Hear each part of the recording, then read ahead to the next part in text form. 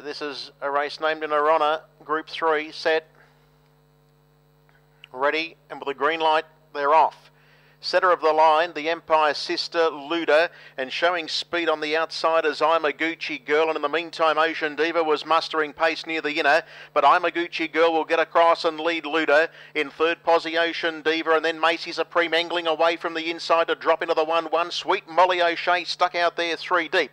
Just inside of it as they go into the back as the Empire Sister, followed further back in the field then as they work into the back straight by Spirit and Desire. A length to She's a Runner, followed by later on, and Zenable brings up the rear. The first quarter was a solid one at 27.4, and Luda worked around the outside to take up the front running.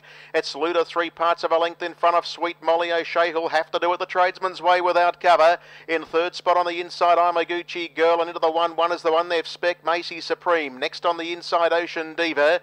About three parts away, the Empire Sister from Spirit and Desire. And the last group of horses, a She's a Runner with later on, and still last of all is Zenable, second split was 29.1.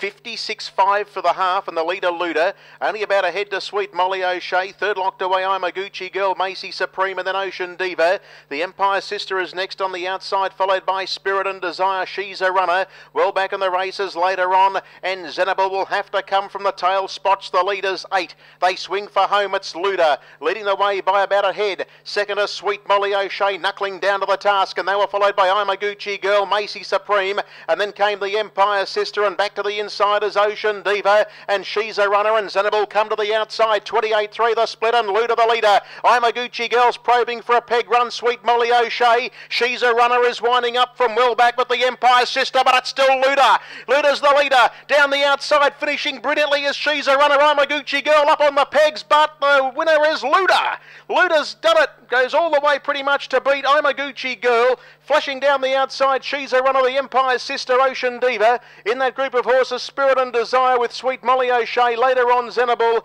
and Macy Supreme. They've left it in there. Has finished well back 27-8 last quarter, and they've gone 152 and 6.